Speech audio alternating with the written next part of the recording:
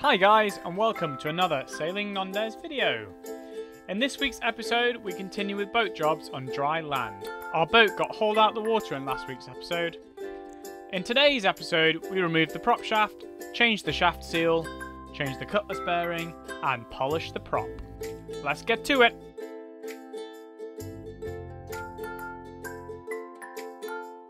The prop shaft is attached to the gearbox with this coupling. So I need to take that off so that I can take the prop shaft out so I can then take apart the stern gland and replace this tubing which is very spongy, very soft.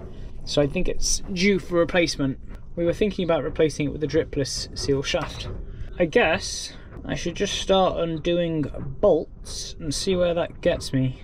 I will start with this bolt that goes through, it looks like it goes through the prop shaft. These rusty bolts are going to potentially be really stubborn to get rid of. This should really be painted I think to stop it rusting because this is mild steel or iron.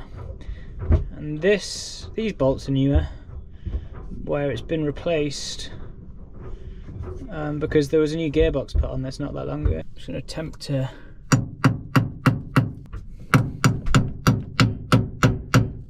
I have partially got this bolt out but with the Allen key head I couldn't spin it for the life of me. Actually when I tried to spin it it would go in a funny direction so I think this bolt is bent in its current home. It's bent and I'm going to undo these bolts or try to because presumably these are clamping um, the shaft and this is a nut that's sort of a fail safe.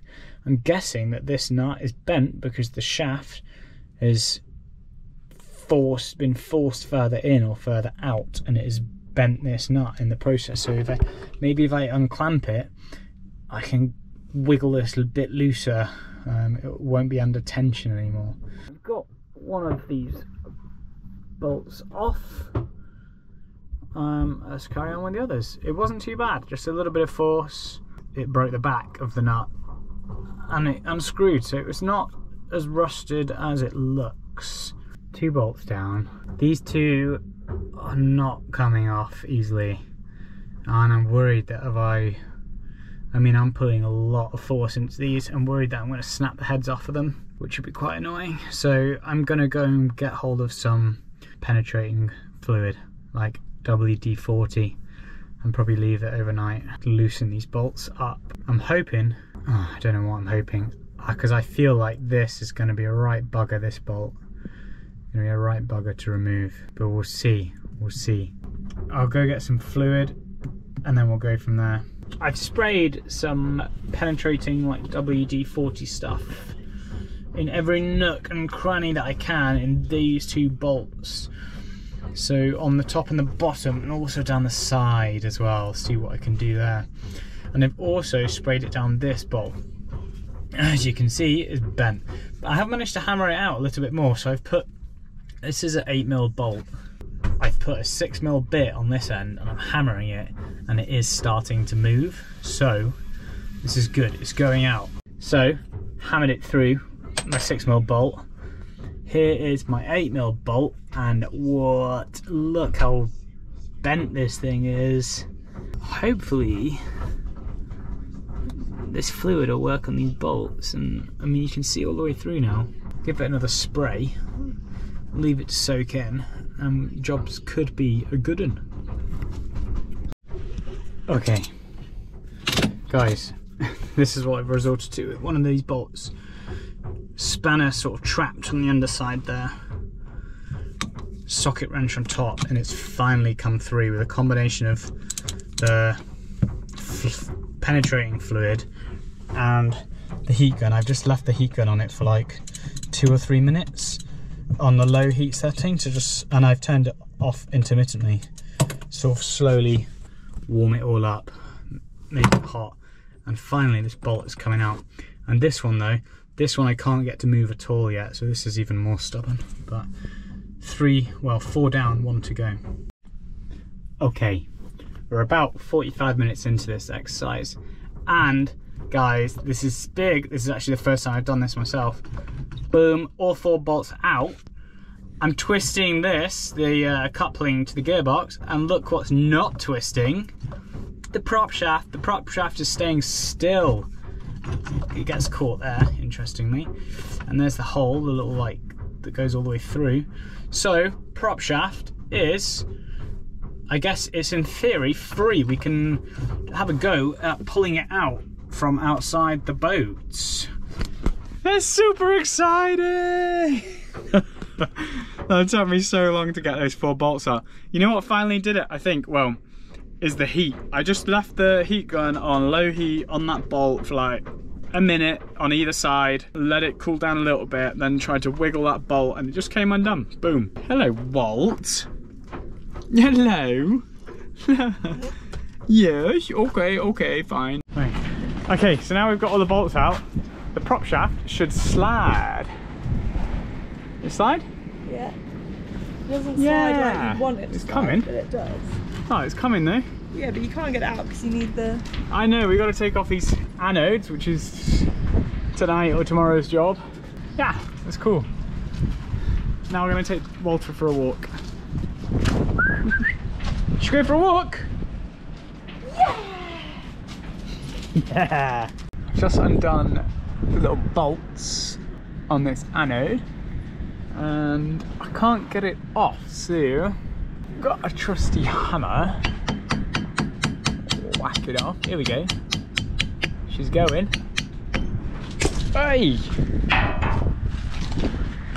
That. Done. So what that means is the prop shaft can come out now. We might need to remove the prop though because we've got to get it past the rudder. So let me have a little play and then see. It's coming. It's coming more. Look at that for a view. Prop shaft view. It's coming. Oi oi.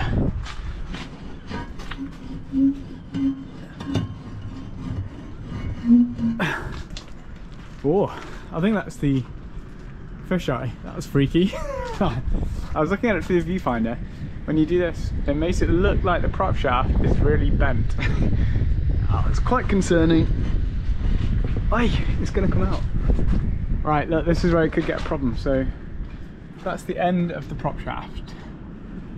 Will it get past the rudder? Almost definitely no. Look at that for a view. You know, this is about from there to there, it's got to come out, what's that, about half a meter, maybe more. Um, it's not going to sneak out past that distance between that to the rudder. So we've got to take the prop off. So, next step, how do you remove a prop? Do I need a special tool? When was the last time the prop came off? Tune in next time. That's tomorrow's job because Flick's getting really angry with me that I'm still doing jobs and it's quarter to nine. Nope, it's quarter past nine, so that's why she's even angrier than I thought. Um, yeah, so I'll leave it till tomorrow. But that's cool, the prop shaft is almost out. I'm gonna do some research tonight, figure out how to take a prop off. I hope you don't need a special tool, that would just be quite annoying. It looks like this is just a little gadget, a widget to hold the anode, stop it spinning, because that slots in there. I'm guessing just a big spanner. I don't even know if my spanner is big enough. And you just torque that. But how you're gonna have to do something to stop the shaft spinning because the shaft wants to spin. So have I made a mistake? Should I have taken the prop off before I decoupled it off of the gearbox because now it's a lot harder to how do you stop that rotation to get this nut off hmm I need to go away and research it all right but good night guys I managed to get the prop off that very next day all I needed was a quick trip to Screwfix to pick up a ginormous adjustable spanner It turned out to be quite an easy job after that. On inspecting the cutlass bearing, we added a new job to the list. We decided to replace the bearing. You can see that it was quite flat spotted in places, and we'd noticed some vibration in the prop shaft before we got hauled out. So we thought, whilst we're here, hauled out, and with the prop shaft already removed, we might as well just get it done. It cost £50 for a new one, which isn't too bad. A new one should end up removing that shaft vibration, so we think it was definitely the right call to make. The prop should be more efficient, and it should put less wear and tear on the gearbox. The hard part of this whole operation was getting the old cutlass bearing out of the P bracket. I'm about to start the sort of, well, one stage of removal. The guy in the boatyard recommended put a, take out the grub screws, which I've done, little screws that hold it in place, and then you can get like special pullers that get it out, but you have to sort of manufacture your own or buy like an expensive tool. Or he said, you can hacksaw it. So I've hacks, I'm gonna have a go at hacksawing it. I've put the blade in, put it back on the hacksaw handle, and now I'm just gonna hacksaw in one spot, cut through the cutlass bearing, but I have to be careful that I don't start cutting through the metal P bracket, this thing, the big metal chunk coming down from the boat. And then once you've done that, you should be able to like basically get a screwdriver under where you've cut and sort of make it fold in on itself and it'll come out easily because they're very hard to get out once they're in. How's it going? Well, very committed. Very nervous face. I don't want to ruin the P bracket. Basically, if I cut too deep here, Yeah, yeah. Oh, you are a bit. no, that, no, that's still going through the brass. This is a brass, a brass ring that goes inside, and then the rubber.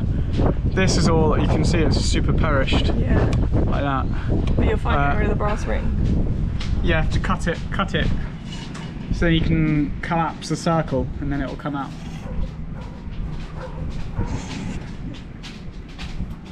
I've cut through at the edge, edges almost cut through. It's the middle that's not cut through.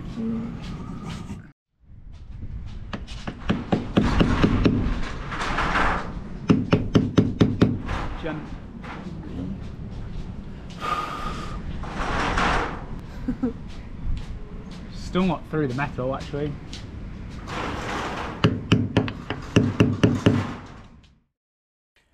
As soon as I put a single cut into that cutlass bearing, I was fully committed. I had no choice. The cutlass bearing had to come out because as soon as you put cuts in it, it no longer functions as a bearing. So throughout the day, the stress slowly built as this thing refused to come out. Right. Is it going to focus? This is the inside of the very mangled up cutlass bearing. Not really fit for purpose anymore. But now that I've cut this strip out, the circle is like folding on top of itself. So with a few more whacks, I reckon it'll come out. There's my, uh, Your head. Look at. Point your head down. and it's blue. That. Yeah. I've been rubbing my head on this. Let me see. Ready? It's coming. Is it? Yeah. Oh, Beep. Oh no! Oh no! Oh, my suck. I hit it, hit it back the other way. Can you imagine if after all of that? I didn't even think I caught that. I was too excited. Do you want your?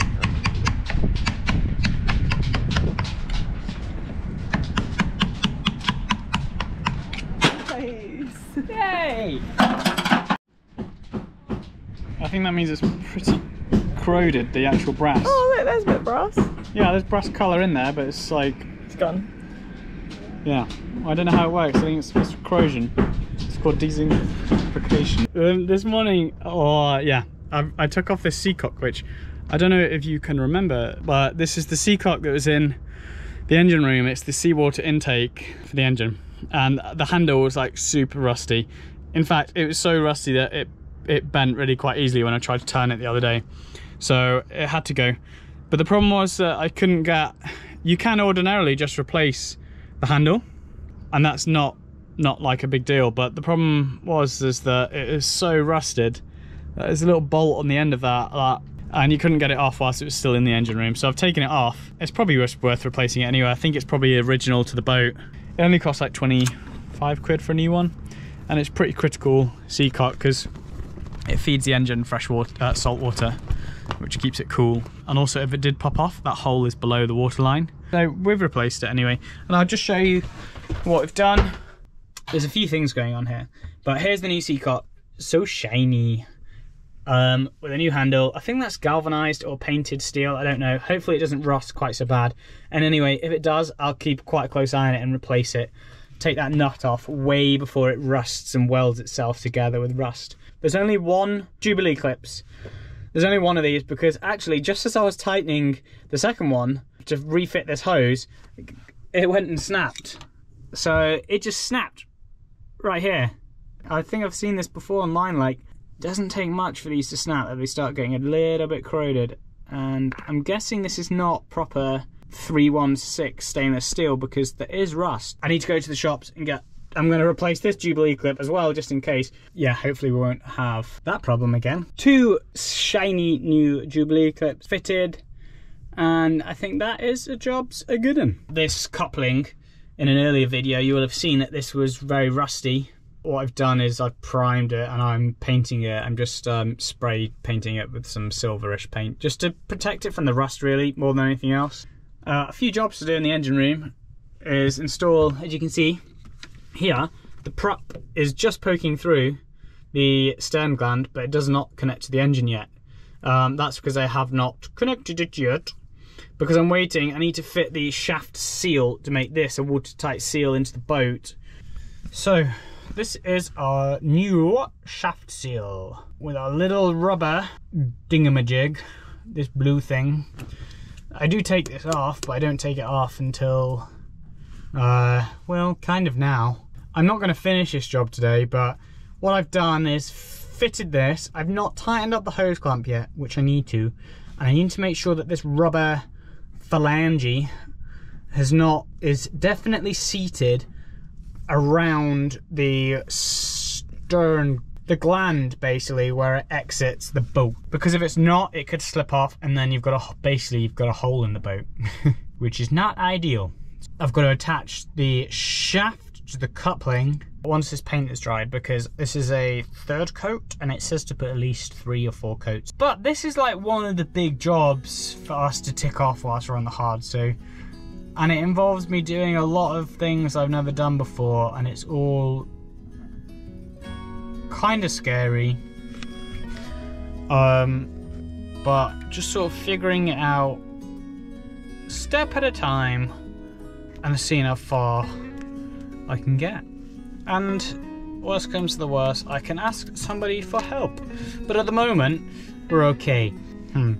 Yeah the only problem with that theory I guess is that this, we're going to launch the boat after me installing this, and then the first time we're going to find out whether I've done it correctly or not is when we when we launch the boat, and um, it's either going to be leaking or it's not. As you can see, I'm on the opposite side of the engine room now. So let's go ahead and tighten this little doohickey.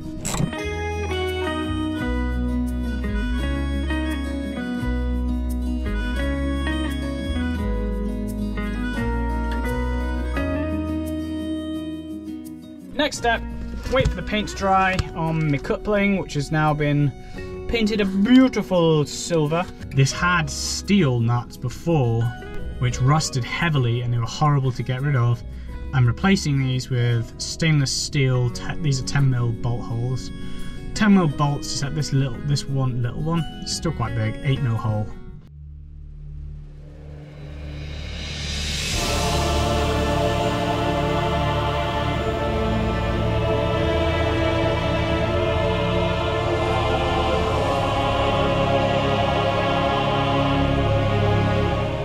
This shiny prop was the result of a couple hours of sanding at various grits, followed by some metal polishing. And oh man, looks so good.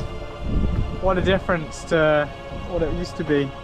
I'm sure we've got some before footage of when I try, was trying to take it off before we'd sanded it or anything. I've given it a proper good sanding and polishing. So sanding with 120 grit, then 240, get out the deeper scratches with those, and then onto like 600 grit, 1200 grit, and then polishing. It's not perfect, but it's still damn shiny. It's a heck of a lot better than it was. As you can see, I've fitted the anode on the end, and I've fitted the other anode on the prop shaft, and that's it for anodes on our boat. That's what we had before, so I'm going to stick with it because it seems to be working. Hi folks, that's it for today. I hope you enjoyed the video and please don't forget to hit that like and subscribe button. It makes a huge difference to us and it helps us stay motivated to hopefully create better videos for you.